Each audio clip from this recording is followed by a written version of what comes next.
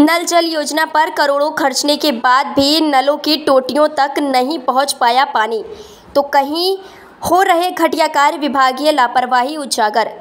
मामला श्योपुर ज़िले की दो ग्राम पंचायतों का है, जहाँ सरकार के हर घर पानी पहुँचाने वाले वादों को विभाग और ठेकेदार पलीता लगाते दिख रहे हैं।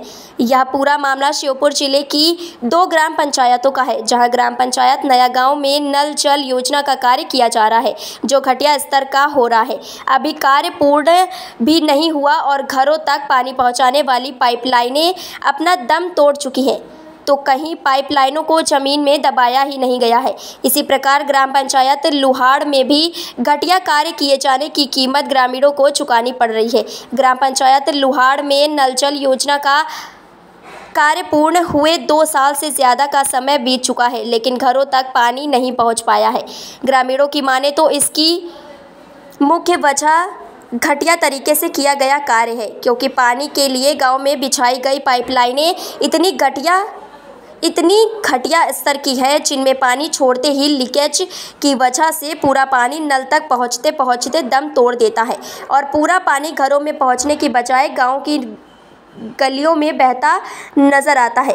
वहीं ग्राम पंचायत लुहाड़ के ग्रामीणों ने आरोप लगाया कि गाँव में अभी भी 30 से 40 घर ऐसे हैं, जिनमें आज दिन तक नल कनेक्शन नहीं दिया गया है और कार्य पूर्ण बता दिया गया है। ग्रामीणों द्वारा इस मामले की शिकायत भी की गई है, लेकिन कोई सुनवाई अभी तक नहीं हो सकी है। वहीं पीएचई के अधिकारी अपना पल्ला छाड़ते हुए ग्राम पंचायत पर अपनी ज़िम्मेदारी को डाल दिया और बताया कि लुहाड़ में योजना को पूर्ण करके सरपंच सचिव को हैंडओवर कर दिया गया है। उसके बाद भी अगर लीकेज है तो पीएचई विभाग द्वारा तकनीकी मार्गदर्शन देके उसको हम चालू कर देंगे और जो नया गाँव पंचायत में कार्य किया जा रहा है, उस कार्य को ज़िम्मेदारी के साथ करवाया जाएगा। एक एक लाइन और पाइप को ज़मीन में गड़वाया जाएगा, नहीं तो ठेकेदार को कोई नहीं किया जाएगा।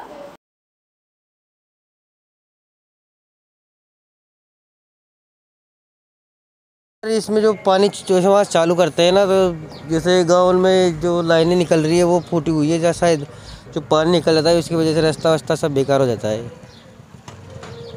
दो चार दिन आया था पानी तो। नल नहीं आते कर कुछ भी। लाइन बेकार हो रही है। पूरी लाइन बेकार हो चालू किया उससे जब से पानी नहीं आ रहा। एक आठ एक दिन आया था। अच्छा। आठ दिन पास फिर कुछ भी नहीं आया।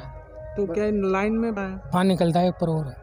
पैदावार ज़मीन में निकलता है नल पे तो ज़्यादा नहीं पूछते हैं वहाँ पर थे ऊपर नल निकल जाते पानी। क्या लाइन टूट रही है? लाइन पूरी बेकार हो रही है। कम से कम तीन चार साल हो गए हो गए नल जल योजना हो गए यहाँ पर टंकी बने हुए। लेकिन पूरे रोड़े खोद दी एक दिन भी पानी नहीं आया। चाहे किसी से भी पूछ लो ये औरतें खड़ी है यहाँ पे। ये नल ना बस पानी के लिए तरस रहे हैं अभी तक। अब पूरी मतलब भ्रष्टाचार हुआ है तो कुल टोटल बात ये है जगह जगह लीकेज है टंकी में रोड़े खराब है आप चाहे तो पूरे गाँव को देख लो।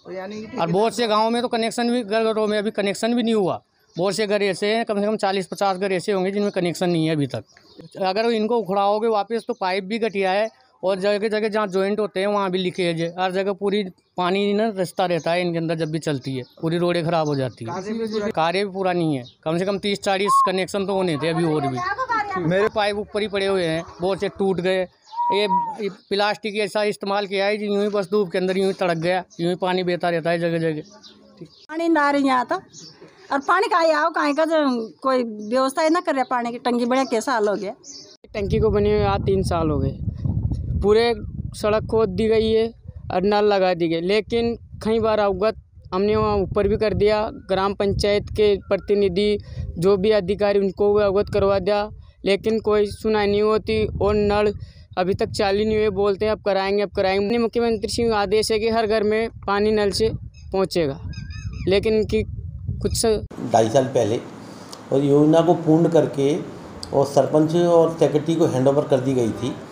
उसके बाद भी यदि कोई लीकेज वगैरह है तो पीएचई विभाग द्वारा तकनीकी मार्गदर्शन देके उसको हम चालू कर देंगे।